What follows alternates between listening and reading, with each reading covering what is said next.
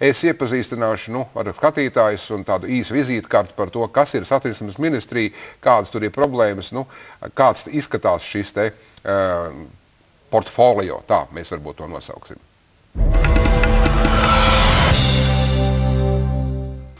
Satiksmes ministra amats ir viens no iekārojamākajiem. Tad tas arī bijis viss atjaunotās Latvijas gadus.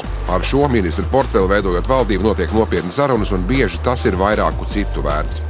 Pagājušajā valdībā, piemēram, piedalījās Tēvzmē un Brīva Vēlnēn, kā viņiem bija tikai viens amats valdībā. Kaspars Gerhards bija tieši satiksmes ministrs.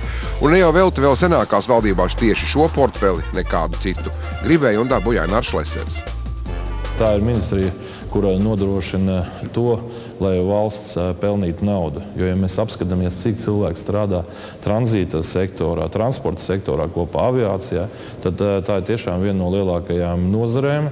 Un galvenais ir tas, ka tā nozare praktiski bez problēmām. Neskaitot autoceļu problēmas, kad ir nolikvidēts autoceļu fonds, pārējās nozares arī krīzes laikā ir attīstījušās ar pluszīmi. Patiesi par satiksmes ministriju var teikt, ka tā ir teju vai svarīgākā. Tās pārziņā ir tranzīts, ostas, lidostu un aviācijas, dzelzceļš un autoceļi, arī komunikācijas un sakari.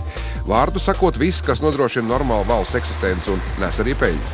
Summas, kas grozās satiksmes ministrijas pārvaldījuma esošajās nozarēs, ir vairāk nekā iespējīgas. Galu galā šī gada budžetā tieši satiksmes ministrijai ir atvēlēta lauvas tiesa gandrīz pusmiljards latu. Te apgrozās arī liela Eiropas nauda.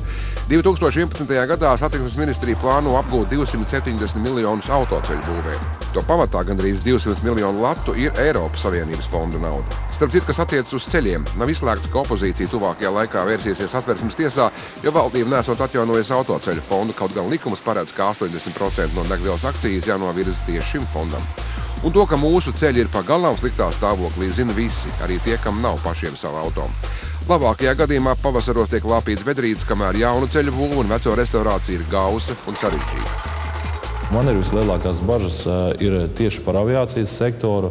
Jo, ja netiks uzbūvēts jaunais termināls, tad principā Rīga var pazaudēt iespēju attīstīties kā lielais, jaunais reģiona lidojuma centrs visā šajā Eiropā. Citiem vārdiem sakot, ministrija ir gana prestiža, iekārojama un nopietna, bet arī problēma tajā ir pietiekama. Taču pilnīgi iespējams, ka veiksmīgi šo nozaru menedžēšana kalpo par labu trampīnu politiskajai karjerai, ja ir tādas ambīcijas. Satiksmes ministri ir bijuši gan Vils Kristofons, kurš vēlāk kļuva par premjeru, gan Roberts Zīle, kurš no savas partijas tika nominēts par premjeru. Arī Ainārs Lesers pēc aiziešanas no satiksmes ministra amata nav palicis ēnā, lai gan vēlēšanās zaudēja un tagad spiest darboties opozīcijā. Šobrīd respektablajā satiksmes ministra amatā ir Zaļo zemnieku savienības deleģētais Uldis Augulis. Man ir eh, tikai novēlējumi, lai viņš nesalaiž dēlī tās lietas, kas ir veiksmīgi attīstījušās. Jo jāsaprot, ka Auguļa kungs jau tomēr transporta jomā nav eksperts. Viņam ir iespēja kļūt par eksportu. Viņš nāk no labklājības jomas. Tas, ka viņš ir labs menedžers, eh, to eh, cilvēki ir pamanījuši, bet izpratne par tranzītu 300 dienu laikā nerodas.